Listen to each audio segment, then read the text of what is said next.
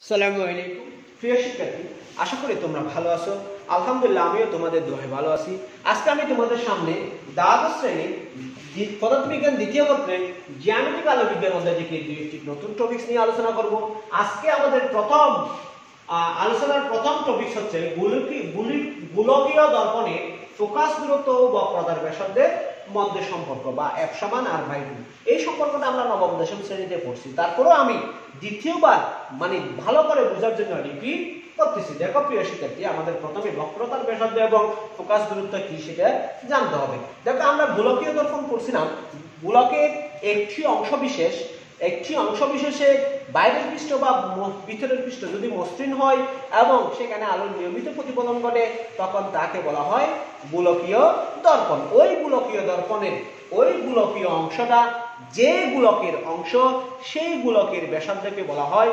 বক্রতা ব্যাসার্ধ। একে আর দ্বারা প্রকাশ করা হয় এবং ওই ওই দর্পণে আলোক রশ্মি আপতিত হয়ে আহ, যে বিন্দু দিয়ে গমন করে বা পদানকের যে বিন্দু থেকে আসছে বলে মনে হয়, সেই বিন্দুকে বলা হয় প্রধান ফোকাস। মেরুবিন্দু থেকে প্রধান ফোকাস পর্যন্ত দূরত্বকে বলা হয়? ফোকাস দূরত্ব। মেরুবিন্দু থেকে প্রধান ফোকাস পর্যন্ত দূরত্বকে বলা হয় কি? ফোকাস দূরত্ব। একে স্মল এফ দ্বারা প্রকাশ করা হয়। দেখো প্রিয় শিক্ষার্থী, এখানে একটা চিত্র। আমি অবতল দর্পণের চিত্র অঙ্কন করলাম। দেখো এই অবতল দর্পণের, আমি যদি এখানে লিখব না, মুখোমুখি অনেক কিছু বলে দিচ্ছি।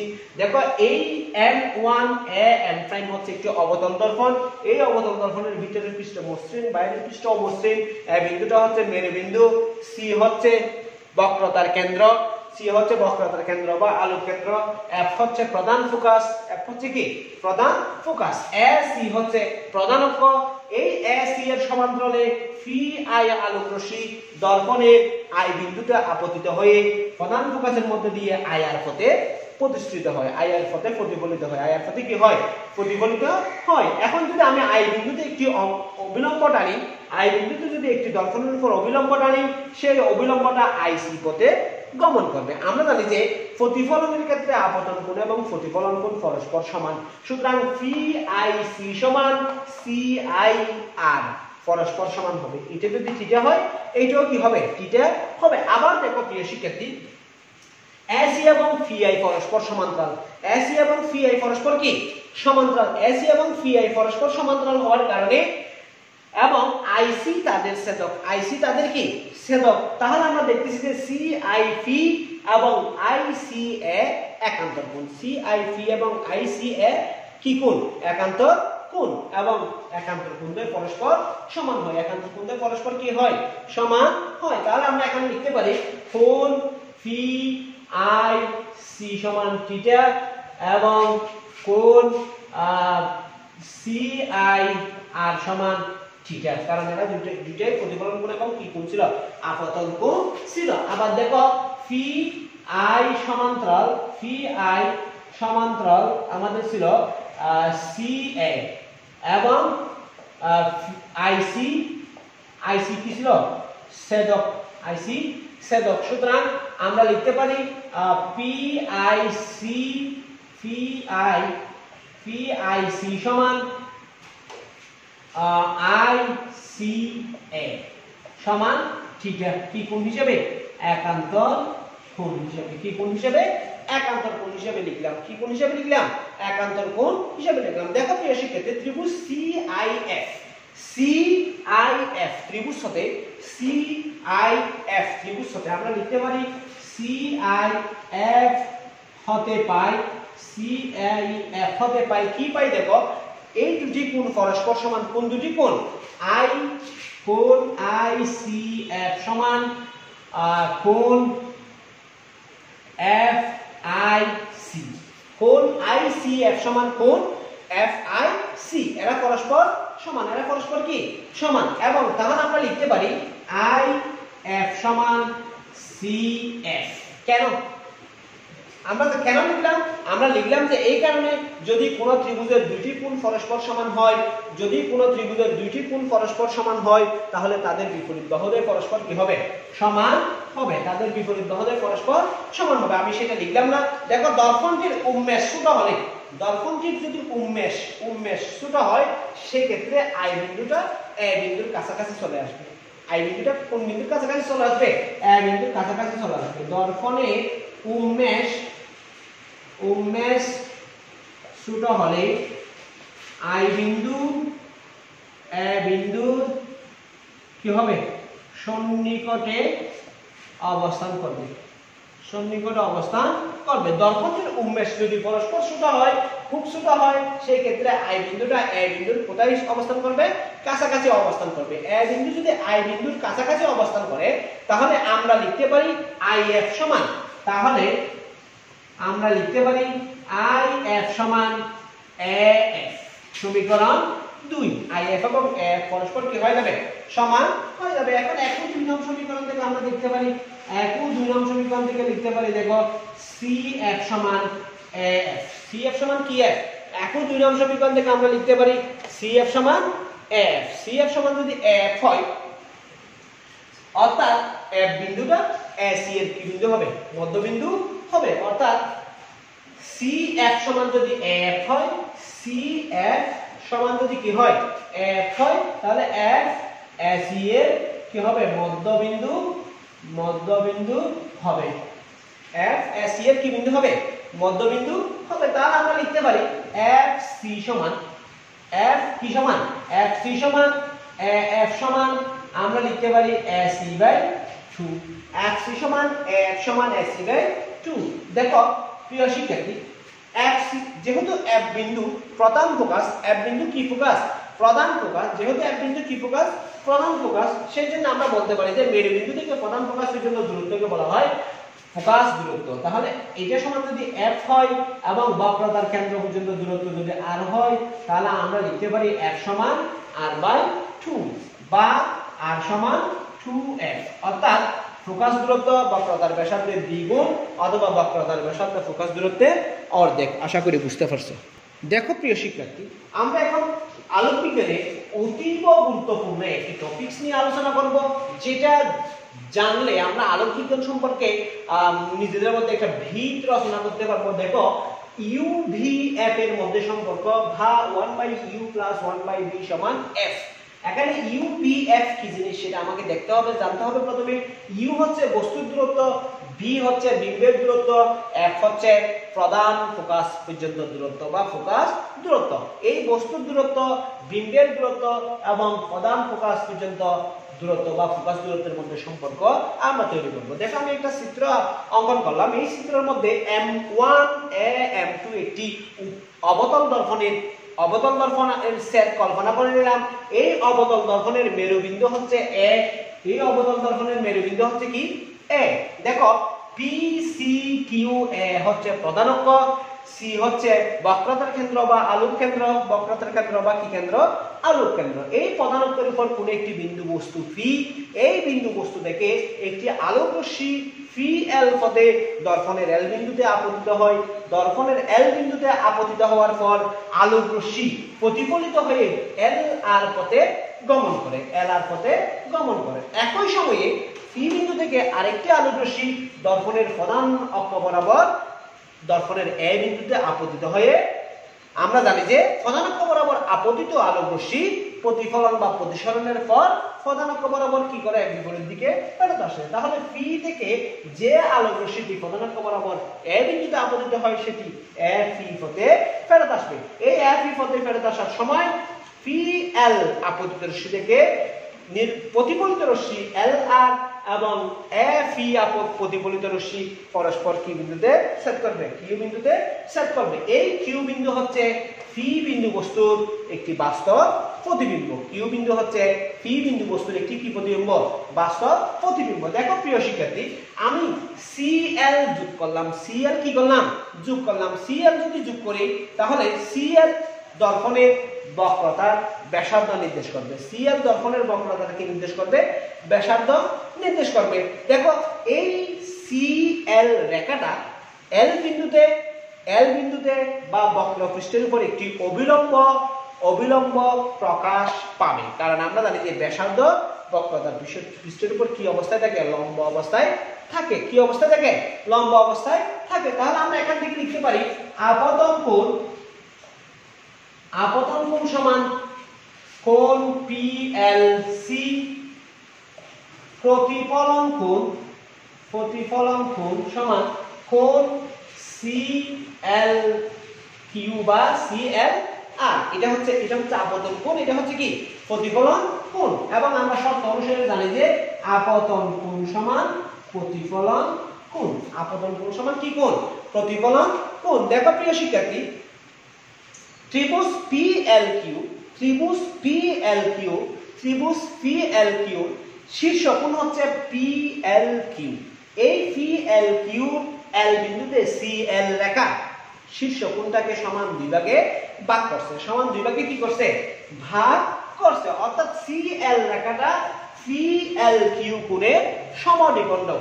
যদি সমদ্বিখণ্ডক হয়, সেই ক্ষেত্রে আমরা লিখতে পারি P L by L Q সমান P L by L Q সমান, আমরা লিখতে পারি C P by C Q C P by কি কিউ সি কিউ দেখো, এটা আমরা নাইন টেনের জ্যামিতিতে পড়ছি সম্পদ উপপাদ্যের মধ্যে পড়ছি।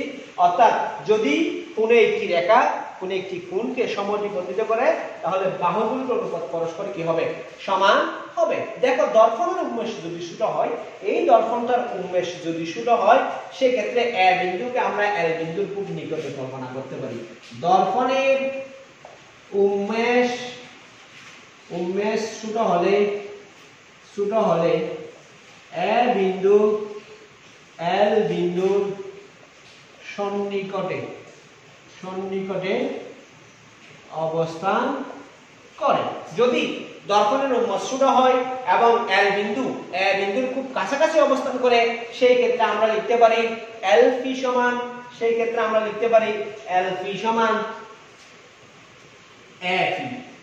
এবং এল পি সমান যদি এফ হয়, দেখো কাইন্ডলি এল পি সমান কি হয়?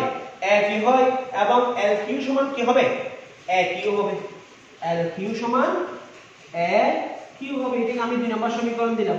এটা কয় নম্বর সমীকরণ দিলাম। অর্থাৎ উন্মেষ যদি পরস্পর সমান হয়ে যায় সরি উন্মেষ যদি খুব ছোট হয়ে যায় অর্থাৎ এল বিন্দুটা এ বিন্দুর খুব কাছাকাছি হয়, তাহলে ফি এল এবং ফি এ পরস্পর সমান হবে এবং কিউ এল ও এ কিউ পরস্পর কি হবে? সমান হবে। এখন আমরা সমীকরণ এক ও দুই নম্বর হতে লিখতে পারি।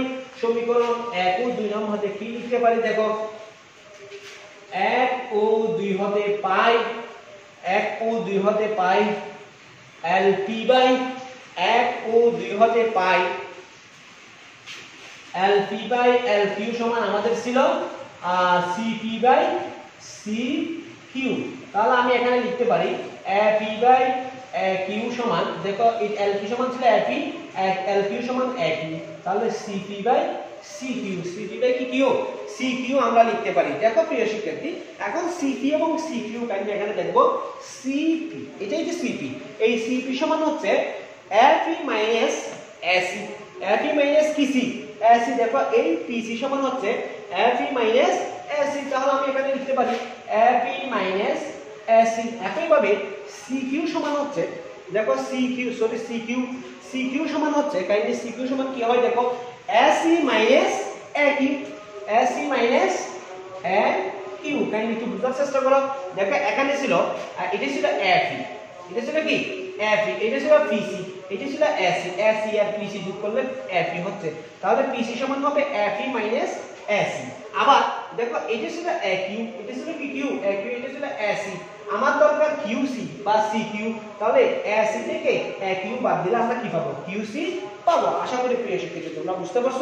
এখন আমি এটাকে তিন নম্বর সমীকরণ দিলাম, এটাকে কয় নম্বর সমীকরণ দিলাম? তিন নাম্বার সমীকরণ দিলাম। দেখো প্রিয় শিক্ষার্থী, আমরা এখানে চিহ্নের পদ অনুসারে চিহ্নের প্রতা অনুসারে আমরা জানি যে, দেখো চিহ্নের পদ অনুসারে আমরা তিন ধরনের ঘটনা জানি। এক নম্বর ছিল সকল দূরত্ব মেরুবিন্দু থেকে মাপতে হবে। দুই নম্বর ছিল সকল ধনাত্মক বস্তুর, সকল বাস্তব বস্তুর দূরত্ব ধনাত্মক। তিন নম্বর ছিল সকল অবাস্তব বস্তুর দূরত্ব ঋণাত্মক। তাহলে এখানে দেখো আমরা চিহ্নের পদ অনুসারে এক ইমানি বস্তুর দূরত্ব। এক ইমানি কার দূরত্ব? বস্তুর দূরত্ব। দেখো, এই পি বস্তু ছিল, তার মানে মানে বস্তুর দূরত্ব। বস্তুর দূরত্ব পজিটিভ যেহেতু বাস্তব বস্তু, তাহলে আমি এটাকে ইউ দ্বারা প্রকাশ করলাম। এটা কি দ্বারা প্রকাশ করলাম? ইউ দ্বারা প্রকাশ করলাম। কিউ বিন্দুটা হচ্ছে বিম্ব বিম্ব কার বিম্ব? ফি বিন্দুর বিম্ব। তাহলে ফি বস্তুর বিম্ব যদি কিউ বিন্দু হয়, তাহলে কিউ বিন্দুতে এখানে কিন্তু বাস্তবে মিলিত হয়েছে। কিসে মিলিত হয়েছে? বাস্তবে মিলিত হয়েছে। তাহলে একই হচ্ছে একই হচ্ছে বিম্বের দূরত্ব। এই বিম্ব কিন্তু বাস্তব এখানে দেখো। তাহলে আমরা এটাকেও লিখতে পারি প্লাস বি বা বি প্লাস বি বা কি? বি আবার আমরা দেখব বক্রতার ব্যাসার্ধ এসি বক্রতার ব্যাসার্ধ এসি এখানে বক্রতার ব্যাসার্ধ কিন্তু দর্পণ আলোক রশ্মির দিকে আপতিত হচ্ছে, বা পরিচিত হচ্ছে বক্রতার ব্যাসার্ধ কি দিকে, কোন দিকে? সেদিকে। তাহলে অবশ্যই এখানে এসি ধনাত্মক হবে। তাহলে বক্রতার ব্যাসার্ধ বক্রতার ব্যাসার্ধ সমান আর এটাও কি? ধনাত্মক। এটাকে যদি আমরা চার নম্বর দ্বারা প্রকাশ করি, তাহলে তিন নম্বর চার নম্বর থেকে আমরা কি পাই? দেখো, তিন নম্বর চার নম্বরে অর্থাৎ চার নম্বরের মানগুলি যদি আমরা তিন নম্বরে বসিয়ে পাই, চার নম্বরের মানগুলি আমরা যদি কোথায় পাই? তিন নম্বরে বসিয়ে পাই। এক্ষেত্রে আমরা পাইছিলাম A P by A Q সমান C P by C Q দেখো, আমরা এখান থেকে চার নম্বর থেকে তিন নম্বর মান বসিয়ে পাই। তিন ও চার হতে কি পাই? দেখো এ পি সমান ছিল ইউ ইউ এফ ই সমান কি ছিল? ইউ ছিল। একই সমান ছিল ভি। দেখো এফ ই সমান ইউ, এস সমান কি ছিল? এস মানে বক্রতার ব্যাসার্ধ আর। আর ভাই, এস সমান আর মাইনাস ভি। আমরা একটা আর গুণন করি, আর গুণন করলে আমরা সরাসরি গুণ করে ফেলি। দেখো, U R minus U V সমান। ইউ ভি ইউবি এটার সাথে এটা গুণ করলে ইউবি মাইনাস আর কাইন্ডলি আমি সরাসরি গুণ করছি কাইন্ডলি তোমরা দেখার চেষ্টা করবা। আর গুণ করলে ইউ এবং আর গুণ করলে আর প্লাস হচ্ছে মাইনাস ইউবি সমান ভি আর ইউ গুণ করলে ইউবি প্লাস হচ্ছে মাইনাস আসে দেখো, আমি একটু পক্ষান্তর করব। আমি আর এবং আর কে একপাশে নিয়ে আসতেছি। আর প্লাস আর সমান। এটা এই পাশে নিয়ে আসলে 2 ইউবি হবে। এটা এটার পাশে পক্ষান্তর করলে প্লাস হবে ইউবি যোগ ইউবি সমান 2 ইউবি আমি উভয় পাশে ইউভি আর দ্বারা যদি ভাগ করি ইউভি আর দ্বারা যদি ভাগ করি, তাহলে আমরা এখানে পাবো দেখো U R U V R plus V R U V R সমান two U V U V R কি দ্বারা ভাগ করছে ইউ ভি আর দ্বারা ভাগ করছে তাহলে আমাদের পিটাকে দেখো, আমাদের আমাদের থাকবে দেখো এখানে ইউ আর ইউ আর চলে গেল 1 বাই বি থাকবে প্লাস এখানে ভি আর বি আর চলে গেল 1 বাই ইউ থাকবে, এখানে 2 বাই 2 বাই কি থাকবে? 2 বাই আর থাকবে। 2 বাই আর থাকবে। এটাকে পাঁচ নাম্বার সমীকরণ দিলাম। এটাকে পাঁচ নাম্বার সমীকরণ দিলাম। দেখো প্রিয় শিক্ষার্থী আবার আমরা জানি যে আমরা, আবার আমরা জানি f সমান আর বাই 2 f সমান কত? আর বাই 2 এটাকে ব্যস্তকরণ করলে ওয়ান বাই f সমান 2 বাই r হবে। এটাকে আমি 6 নাম্বার সমীকরণ দিলাম। 5 ও ছয় হতে পাঁচ ও ছয় হতে যদি আমরা লিখি, তাহলে লিখতে পারি one by U plus one by V সমান one by f 1 by f 1 by U plus one by V সমান ওয়ান বাই f অর্থাৎ বক্রতার ব্যাসার্ধে সরি ফোকাস দূরত্বের ফোকাস দূরত্বের বিপরীত রাশি বস্তুর দূরত্বের বিপরীত রাশি এবং বিন্দুর দূরত্বের বিপরীত রাশির সমষ্টি সমান। এবং এই সাত নাম্বার সমীকরণকে বলা হয়, এই সাত নাম্বার সমীকরণকে বলা হয় দর্পণের সাধারণ সমীকরণ। এটা আমরা যেমন দর্পণ থেকে নির্ণয় করতে পারছি, এটা কিন্তু লেন্সের ক্ষেত্রেও কি করা যায়? নির্ণয় করা যায়। এই যে এক সমান আর বাই টু এটা লেন্সের ক্ষেত্রেও কি করা যায়? নির্ণয় করা যায়। তোমরা এটা নিজেরা নিজেরা করে নেবে প্রিয় শিক্ষার্থী। আজকে এই পর্যন্ত। আমরা আগামী এপিসোডে নতুন কিছু নিয়ে তোমাদের সামনে হাজির হব। ভালো থেকে এই পর্যন্ত। আসসালামু আলাইকুম রহমতুল্লাহ বরকাত